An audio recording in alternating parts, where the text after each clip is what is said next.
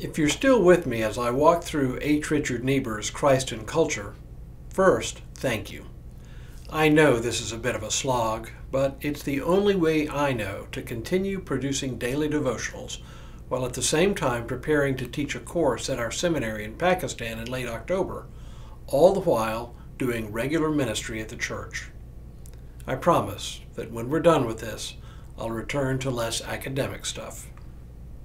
Hello, I'm Stuart Baskin, pastor of First Presbyterian Church of Tyler, Texas, and this is your daily devotional for Tuesday, June 18th, 2024. Today, I want to begin talking about Niebuhr's famous typology of churches. Recall that a typology is just a handy way to make sense of the world around us. It's not like a taxonomy that represents an objective analysis of physical reality. Instead, a typology is by nature somewhat subjective. It is an analysis not of physical things, but of social phenomena and so, social phenomena are always subject to interpretation. Niebuhr's typology is pretty specific in its aim. He's looking specifically at how different wings of the church have navigated the Christ culture problem, or what he calls the enduring problem. As he, as he defines it, the problem revolves around the question of how we navigate our loyalty to Jesus Christ on the one hand and the many people and institutions in the broader culture to which we owe allegiance. Niebuhr's study begins with the simple observation that throughout Christian history there has never emerged one single final answer to this problem. Instead, he sees five different typical answers that have taken shape throughout the long history of the Church. The first of these answers seems pretty logical. Niebuhr calls it the Christ against culture position. As its name suggests, followers of this idea reject any allegiances that could in any way compete with a Christian's loyalty to Jesus Christ. And while this seems appealing, the way it works out in actual practice will strike many of us as strange. People can say they stand within this position, but they really don't.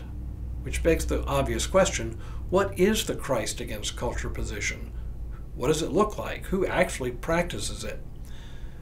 This position is represented primarily by religious sects that withdraw from the broader culture as much as possible. In our day, the Amish and the Mennonites are the ones who most clearly represent this type. Their focus is on the community of faith apart from the world. The epistle we know as 1 John most clearly articulates this position in Scripture. The writer of the epistle contrasts the church with the world in such stark terms that it is clear one can participate either in the church or in the world, but not in both. He writes, Do not love the world or the things in the world. The love of the Father is not in those who love the world. For all that is in the world, the desire of the flesh, the desire of the eyes, the pride and riches, comes not from the Father but from the world. In other words, you can either participate in the life of the world or you can be a Christian, not both. Wealth building?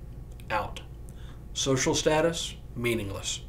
Enjoyment of fine food? Hm, not so much. Military service?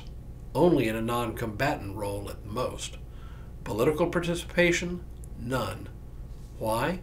Because the world out there is hopelessly lost and to participate in it is to participate in the realm of darkness. Want to change the world? This is not the group to lean on. Their answer is to withdraw from the world as much as possible. It's not just that some particular cultures are evil, culture itself is evil, regardless of which culture it's in. This is not the same thing as contemporary Christian movements that want to change our culture through political means. This is a wholesale rejection of culture itself. Instead, Christian life centers on absolute faith in Jesus Christ and love for one's fellow believers. Again, we read in 1 John, This is his commandment, that we should believe in the name of his Son Jesus Christ and love one another, just as he has commanded us. All who obey his commandments abide in him, and he abides in them and by this we know that he abides in us by the Spirit that he has given us. This, in turn, leads into the famous passage on love from 1 John 4. Beloved, let us love one another, because love is from God. Everyone who loves is born of God and knows God. Whoever does not love does not know God, for God is love. He continues, Beloved, since God loved us so much, we also ought to love one another. No one has ever seen God. If we love one another, God lives in us, and his love is perfected in us. When many of us read this today, we often think of love in general, including love for the world. But the writer of 1 John is clear that this love is the love only of fellow believers for one another. So that's what the Christ against culture type looks like. Tomorrow, let's take a look under the hood, so to speak, to see what drives this type. But for now, may God continue to bless you and keep you in all that you do this day and in all the days ahead.